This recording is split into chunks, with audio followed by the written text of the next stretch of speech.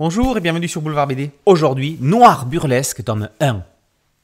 Un bon polar noir et blanc des années 50, un dur Alain Frébogart, costard et chapeau mou, des gueules de circonstance et des baraques et gros muscles, des taiseux sanguins et des caïds mafieux, une stripteaseuse sensuelle et fatale aux cheveux rouges ou un flic irlandais patient recherchant sa vengeance. Vous prendrez bien un white slike. Tout y est dans ce noir burlesque de Marini. Rien à redire, cela se lit comme on regarderait le Faucon Maltais, le Grand Sommeil ou n'importe quel autre film noir. Slike, l'arme à la main, attend caprice dans une miteuse chambre d'hôtel. Quelques mois plus tôt, un casse-loupé, il doit quelques 5000 dollars à Rex, mafieux, patron du cabaret où caprice ses feuilles accessoirement, son fiancé. Mais rien n'est simple dans ce monde-là. Rien n'est tout blanc ou tout noir. Slike est de trop dans ce paysage, dans le paysage de Rex. Malheureusement, Slike n'est pas un débutant, un pion facile à éliminer. Ses hommes de main s'en rendent vite compte.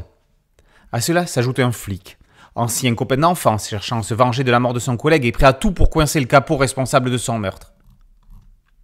Respect, honneur, famille, jalousie, trahison guident chaque protagoniste vers un destin aussi noir que soumis à des retournements possibles.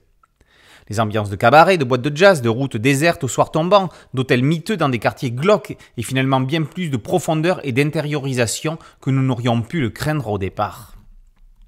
Un schéma narratif offrant au lecteur flashback entre scènes musclées et légèreté passionnelle, Marini maîtrise l'art du suspense dans ses jeux clairs-obscurs, son dessin vif, nerveux, parfois figé comme pour certains visages et expressions.